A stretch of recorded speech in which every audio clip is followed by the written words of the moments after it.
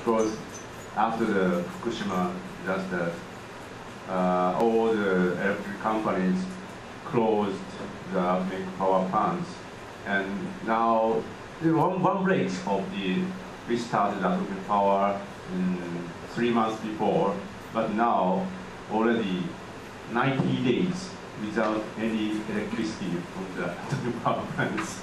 So, uh, but it's a very controversial issue, how to uh, use the atomic energy in electricity or not. Anyway, due to the use some atomic power plant from China in Hong Kong, it's electricity. Yes. You enjoy the atomic power plant. yeah, so the, please uh, let's show Yes. the Hong Kong cases and all the people for urban spaces. Yes. Jackie, please. Yeah. Uh, uh, good morning, everybody. Uh, I'm Jackie Kwok uh, from the School of Design of the uh, yes, uh, of the Hong Kong Polytechnic University. Uh, today, the title of my presentation is "Struggle for the Right to Life in the City: Appropriation of Urban Space by Older People in Hong Kong." So, as an introduction, I would like to, uh, I mean, present briefly uh, the situation in Hong Kong. And recently, I have uh, read this book, uh, Worlding Cities. Uh, it is, uh, I mean, uh, edited by Roy and Ong.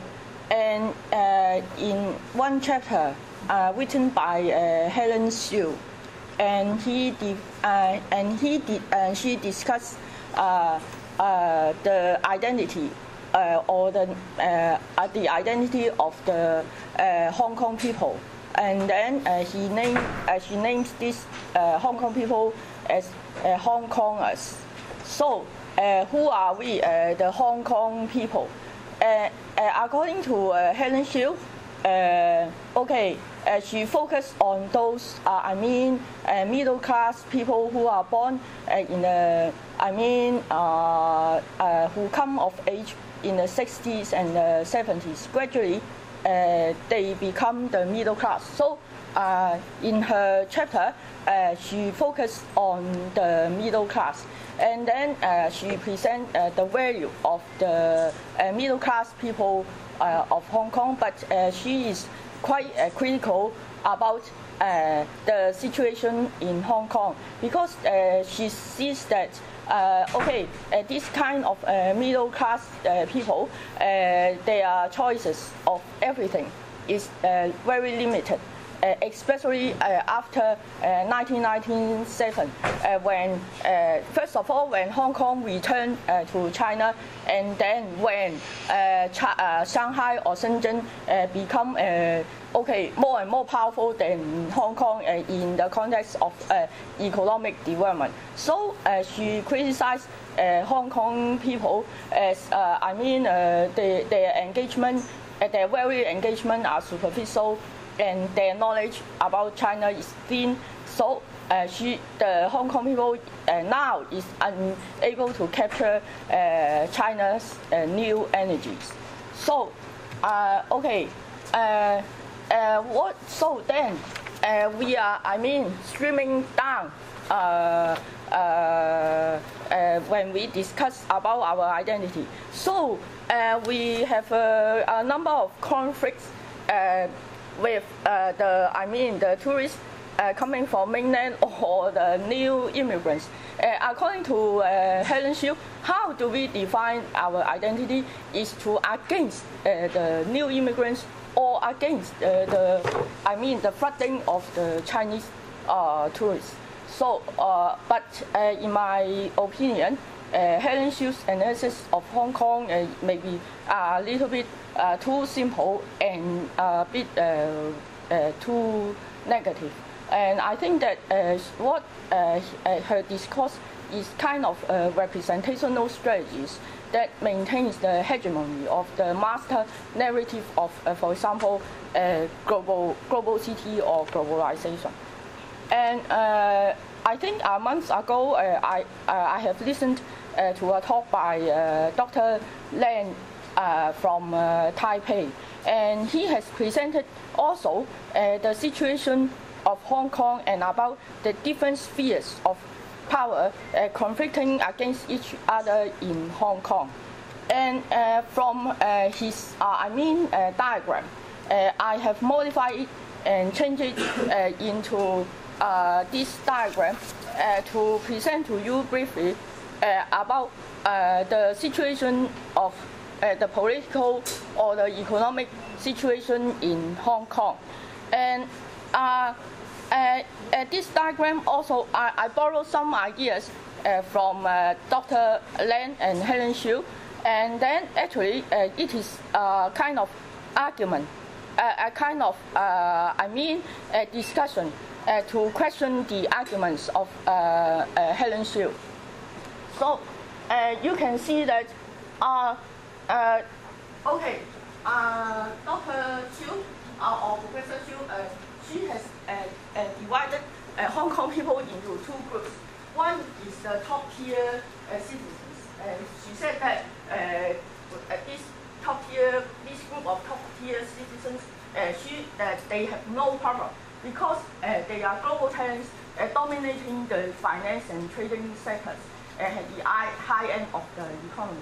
And she is quite, I mean, discriminative against the so-called below top uh, below the top tiers people. That means the local citizens uh, with uh, localized uh, culture.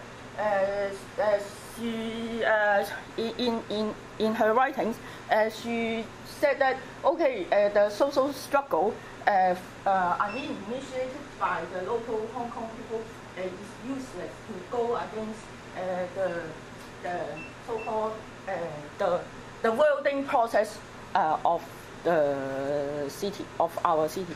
So uh, in, in this book, uh, they have two uh, aspects of uh, to discuss uh, the meaning of post-colonialism, post-colonialism in Hong Kong. So they, I mean, they, I mean, critically argue against the lo localization or the informality of uh, I mean the urban or economic development in Hong Kong, and then they propose that uh, uh, there should be some kind of worlding uh, urbanism uh, to go on uh, uh, in the so-called the Asian cities. And as okay, as I, I I'm not a geographer, uh, I, I, I, my, my research focus is on the aging society. But uh, uh, when we talk about uh, the aging society in Hong Kong, uh, we should not, uh, when we talk about, yes, we should not omit the fact that the challenge comes from two directions in Hong Kong. That means, first of all, we have the challenge uh, from the global uh, economic development. And then uh, there is a new uh, demographic situation in Hong Kong, uh, which uh, states that gradually more than 20% of the city dwellers will be aged over 60, I mean, within a decade. And then, uh, so uh, within the field of uh, gerontology or aging study in Hong Kong, uh, they uh, usually propose this uh, simple solution to merge the two challenging issues together. That means aging and urban environment. So I think most of the Hong Kong gerontologists they adopt or they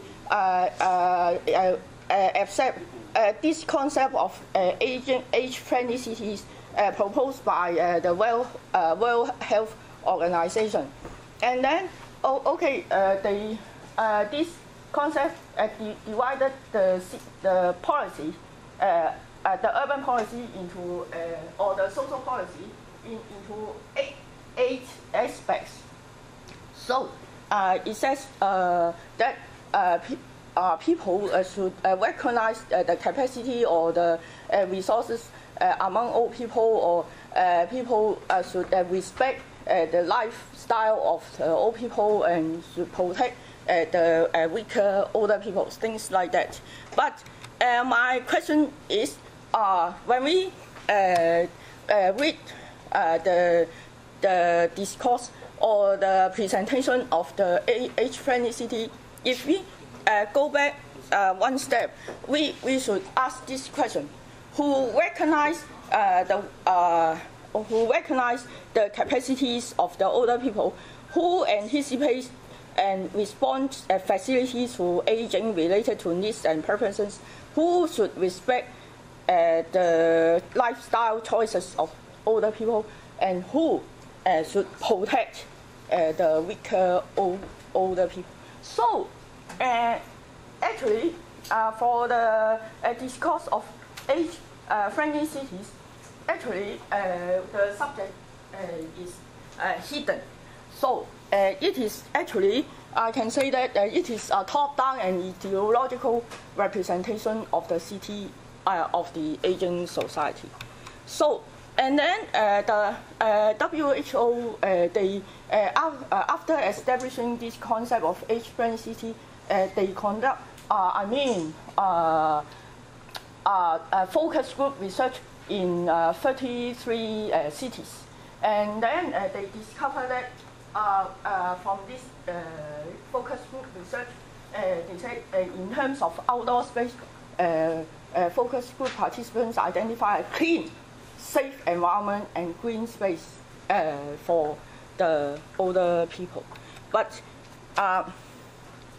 and then I, I, let me finish this first. when we, I mean, look closer or deeper into this ideology of age-friendly city. Actually, uh, this uh, paper uh, presented by the Canadians uh, uh, regarding the age-friendly community, you, you can see the ideology hidden inside Uh, the, this discourse. Actually, the older people is immobile. Uh, I mean, imprisoned in the in the center, and then actually, uh, there are a lot of uh, policies and uh, uh social institutions which are, I mean, offering, I mean, restricted and legal choices to the older person in the in the middle. Uh, they, they, it is very static and uh, I mean uh, ideological.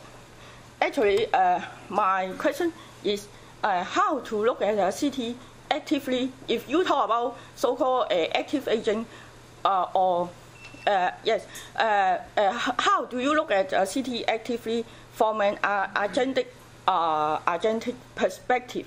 When we look at what Lefebvre has written or the younger researcher has written, we discover uh, the I mean a vocabulary of uh, human desire. Uh, the place is the city is a place of desire, permanent disequilibrium, a state of dissolution of normality or constraints at the moment of play and unpredictable. And what we want is lived experience. We, we don't want to, as an older person, uh, we don't want to sit in the middle and waiting passively for the offer of uh, so-called uh, different kinds of uh, uh, uh, different kinds of kindness offered by the, I mean, the government or the, I mean, elites, elites to us. So, and then when we uh, talk about how do we uh, define a person. Uh, uh according to these so-called uh, 3D models, uh, we of course we have to define ourselves. We have to define our identity and our be, a sense of belonging. And then the most important is as a human being until the day we die, we want to become someone better uh, more practically, uh, we want to become rich. Okay, uh, me too. So, uh, yes, why not? so, so we are not passive and weak people sitting in the prison in, in your age-friendly city. So, uh, uh, uh, what I want to uh, find out is how creative is uh, older people. If we believe that uh, uh, all human beings uh, until the day they die, uh, they are active agents. So we want to uh, discover the creativity of ordinary older people. But in a city, who are the ordinary older people? Actually, they are so-called people without qualities. Uh, they are old, uh, they have no jobs, and then uh, they exist in, in, in at the cracks of the cities or in the cracks of the cities. But they are human agents and so-called informal actors. So actually, what they do in the everyday life, they constantly uh, shifting the meanings of uh, private, public, temporary, permanent, legal, and illegal. Uh, uh, uh, in, in a city. Uh, so when you talk about productive or active aging, actually, uh, you have to look at how older people conduct exploratory or transgressive actions.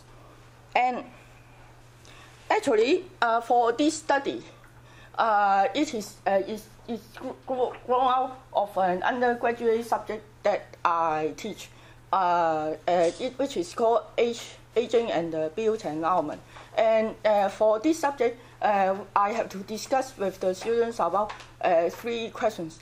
Uh, what is uh, okay age-friendly city? What is so-called active aging, and how space uh, uh, become used creatively by older people? So my students have found some sites where they can see older people uh, creatively. Uh, I mean, we appropriate the space or we inventing some kind of uh, places uh, on their own. And uh, for this uh, short presentation, I, I want to show you two cases. The first case is in Kowloon City. It is, is an Alibaba workshop. And then the case two is the Temple Street, uh, uh, uh, uh, street karaoke booth. So, okay. Uh, so, so as I'm a teacher, I have to tell the student how to do research. So, uh, our research approach is uh, uh, we borrow the so-called the everyday life sociology or micro sociology uh, approach. So we look at uh, people in the natural setting, as that means the everyday life world, and then we take up the model of uh, an, an actor and we ask uh, this person how people and uh, everyday life practices are appropriate or free or lose uh, space. So uh, we use two methods. One is direct observation. That means we see we want to see how the uh, space is possible to uh, enable uh, appropriation.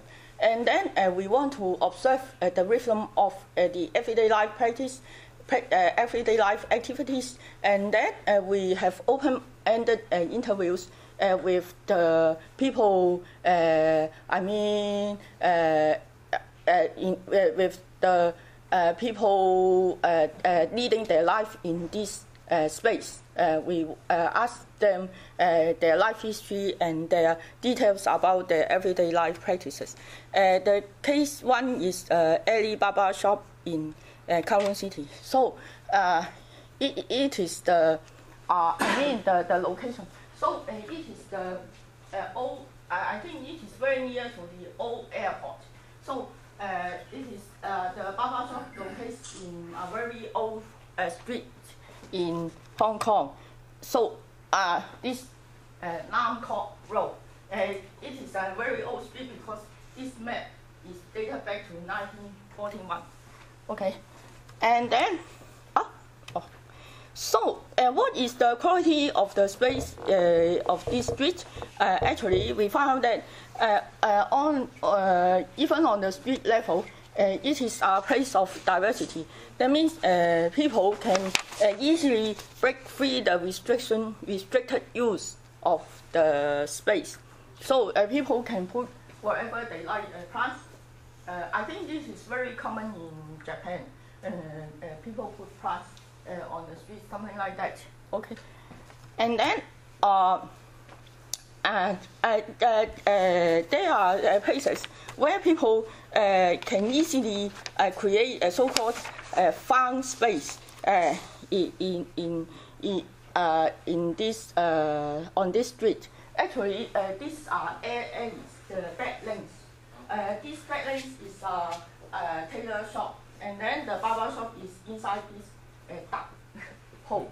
Okay, and and and then. Um, uh, this kind of uh, place uh, has that kind of possibility to allow you to manipulate and change uh, the spatial quality and then uh, to I mean to express uh, your uh, creativity and discovery. Okay, so uh, okay, uh, we discover we want to discover the places which enables people to exercise their freedom of choice, and then uh, the people uh, are active uh, for pursuit of their own interests. So they have the ability to discover the possibility in the environment. So we, I want to stress that uh, what we want to find, uh, find out uh, or what we want to identify is the is the particular space, not a global space uh, with the flow of uh, global economy. We, we want a particular space with uh, human qualities. So uh, the, the, this uh, barber shop is next to this uh, school, this primary school. Uh, the primary school is very old. Uh, it uh, is built in 1949 and then, uh, okay, it exists there uh, since uh, uh, 4 to 60 years. So uh, you can see that uh, uh, this is uh, uh, this is the uh, interior of the barber shop, and then actually this is still an an, an a lane. So the I mean the occupant, the, the, the, the, the person who occupies this space, he has put things on on on, on the space, but uh, he has uh, leave out the middle part uh, to allow the circulation. So actually, it is still a lane, an, uh, a lane, an alley for circulation, but he has turned the semi-private space. Uh, uh, uh, he has turned the space into a semi-private space as a shop and a living room and then we find out that life is happening there. So uh, yes, put plants and a number of chairs uh, to, to, to, to allow people to sit on it, and then uh, he covers uh, the, I mean the uh, open air, uh, the open sky uh, with and canvas. Five minutes. Five minutes only. okay. So I okay. Uh, so so uh, uh, uh, through uh, uh, open-ended interview, we find out the everyday life practices of the uh, uh, of the old the, the old man there.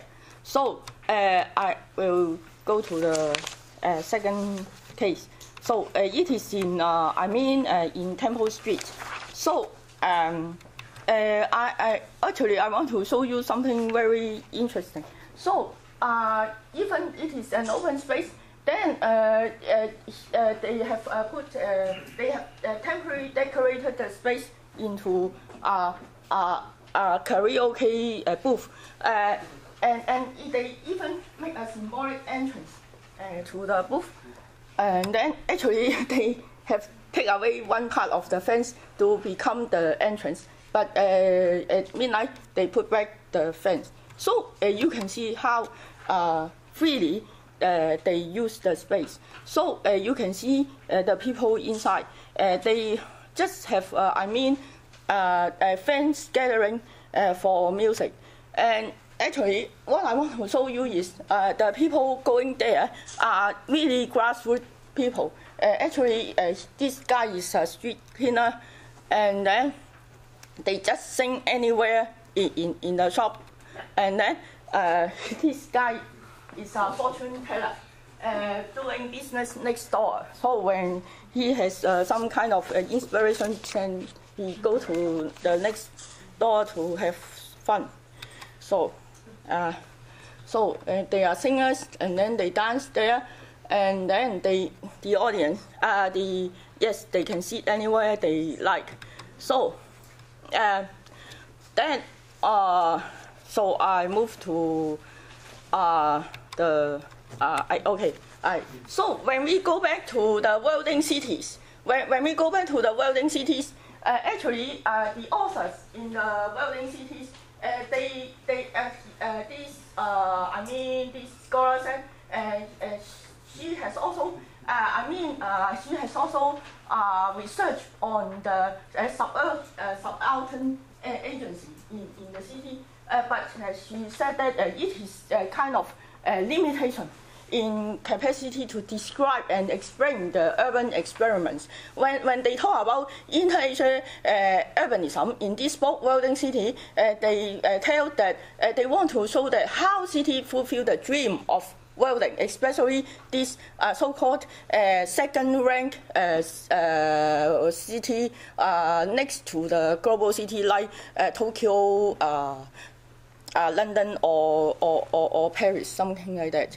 So, uh, but uh, what I want to respond to them uh, is uh, you are not uh, to you are not there to describe, explain the urban experiment, but as Karl Marx says, the philosopher has only interpreted the world in various ways. The point, however, is to change it. So, what's next? what's next? it's very complicated. Okay, what's next?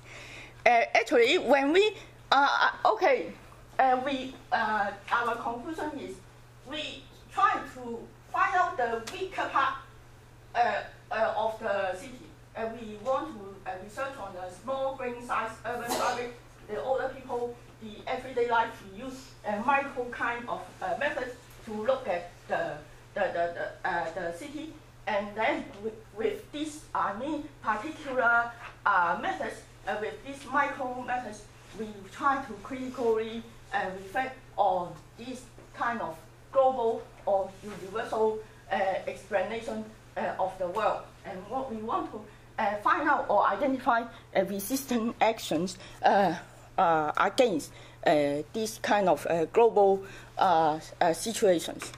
So actually, when we see current city, we see the uh, okay, I stop here.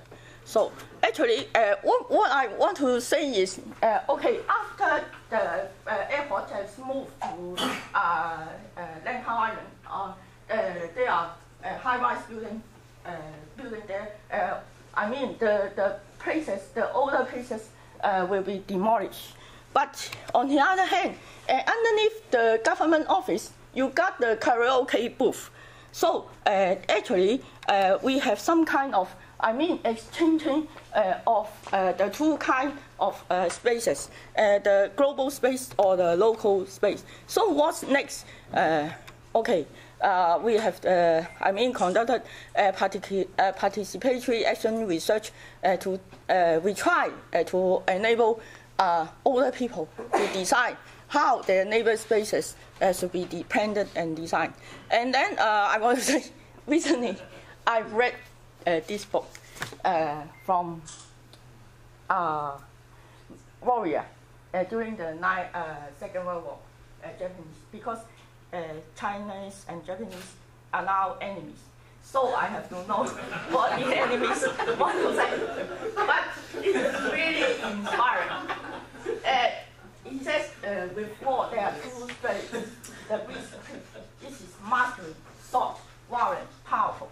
But for the war, it is feminine, refined, low military value, and we have to exhaust the enemy before becoming powerful. So, uh, we want to start a feminine a war uh, or struggle with feminine uh, strategy, according to uh, Ichizawa. And then uh, our struggle in the everyday life crisis is quiet at the cracks, but it may lead to a revolution. Uh, Ichizawa said, uh, with protracted war, uh, it leads to uh, the French Revolution, and I believe in my enemy. okay, thanks.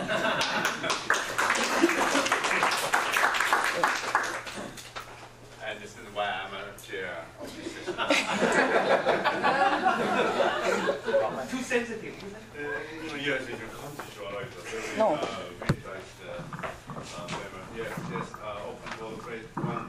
Yeah, I, I don't want to get, get in between the two enemies, but. Uh, I, I, like my enemy better than my uh, compatriot. Oh. it's a, it's, it's. I, I really enjoy the Fantastic. Adds another dimension to our, our, our, conversation. Uh, one comment and, and, and, and two questions. Yes. I'm not quite sure of the way you use Ananya Roy because uh, uh, uh, worlding because worlding. I mean, Gayatri Spivak uses the worlding to show how the, the, the, the how the I mean it doesn't come from Spivak, but I mean she uses it from I can't remember the, the philosopher.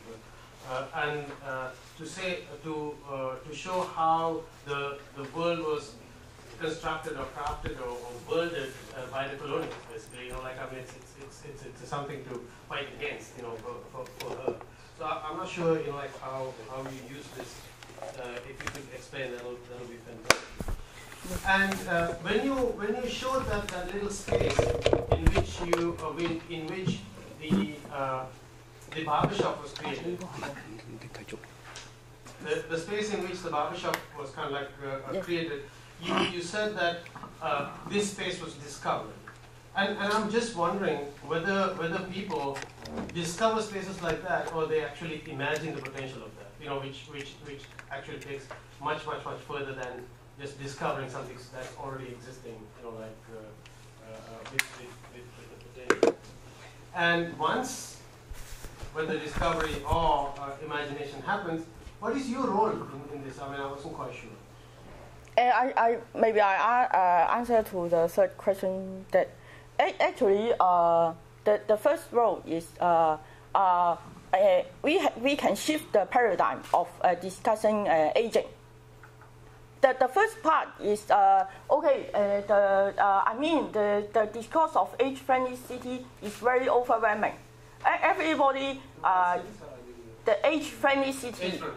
Yes, uh, it's very overwhelming. Every, uh, I mean, uh, in the, I mean, in the field of uh, social uh, work, uh, social work, uh, everybody accepts uh, this uh, perspective of how to make uh, the city become uh, friendly to the older people. But they never uh, think about older people are human beings. Uh, they are very creative. I I don't care whether they discover a place or they imagine a place.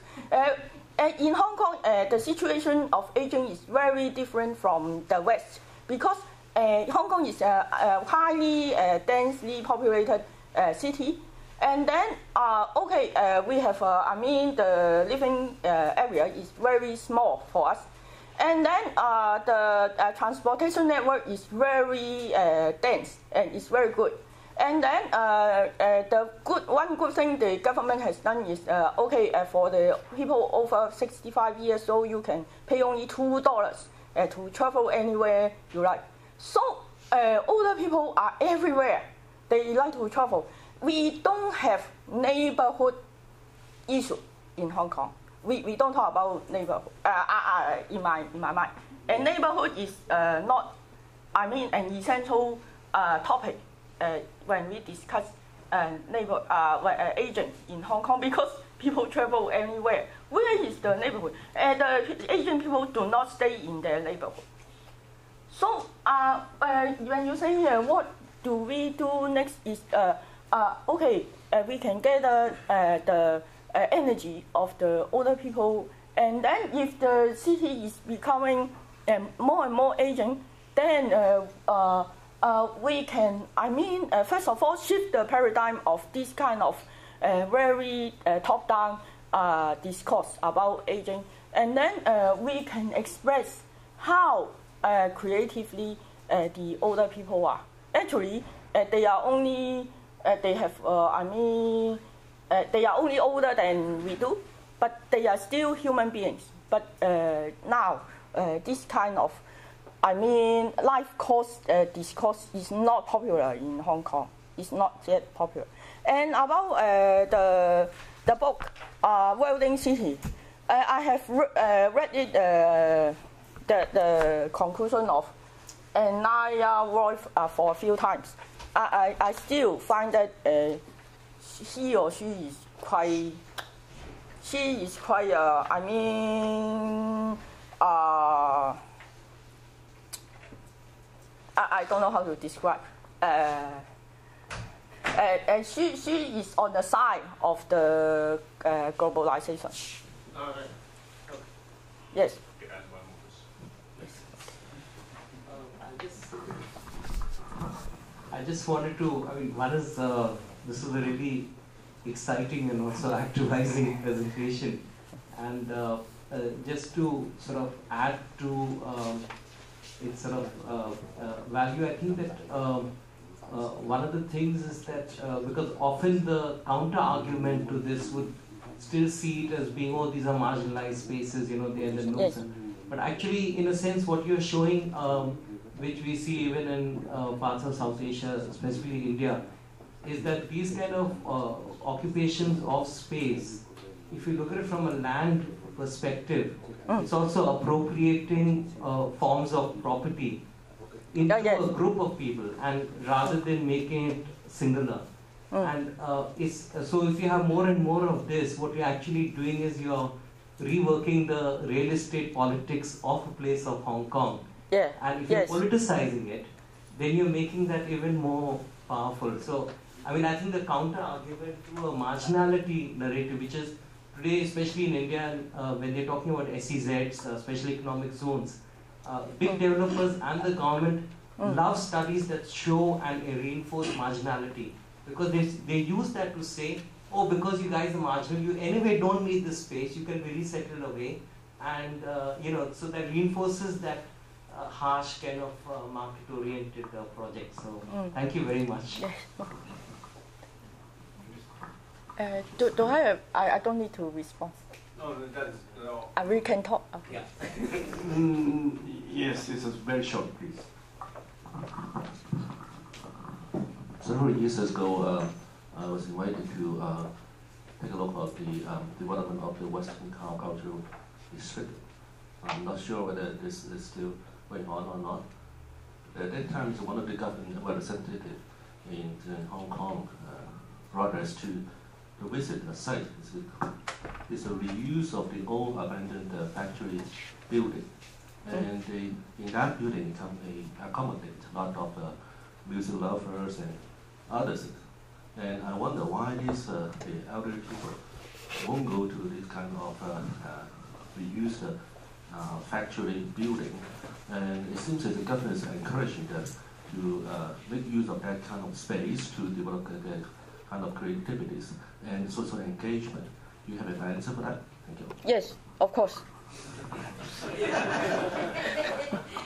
you know, uh, with our, uh, I mean, with our research, uh, there is one site uh, on the uh, uh, Pier. At, at, at that site, uh, there, uh, actually the government has reserved some places for the for musical performances.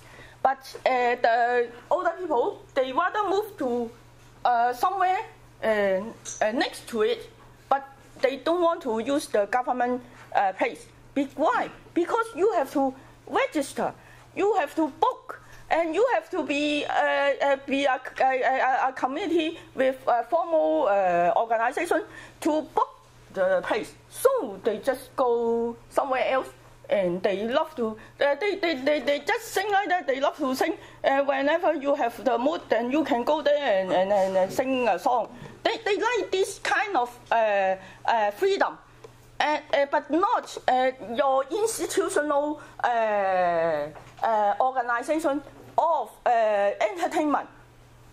Okay, this is the same case as the Tuen Mun Park. There, uh, are a lot of uh, older people uh, just go there and sing.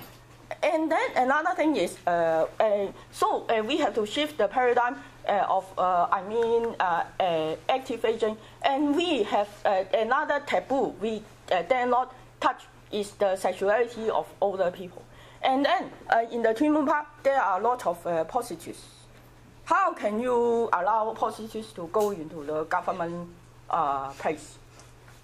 So uh, in the Tuen Mun Park, there are a lot of uh, old men there. Uh, it is a big assembly of old men there uh, singing and dancing uh, with uh, the women they like, the women they like. So how, how, how, can, how can the government replace this kind of uh, free and expressive places? So uh, I, I hope you can tell the government about this situation. Okay. Yes, thank you. Thank you very much. I, uh, we enjoyed a lot, and uh, all the people online.